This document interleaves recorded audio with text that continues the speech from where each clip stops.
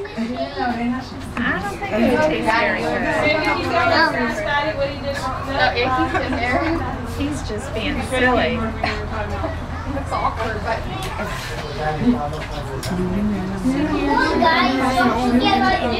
Guys,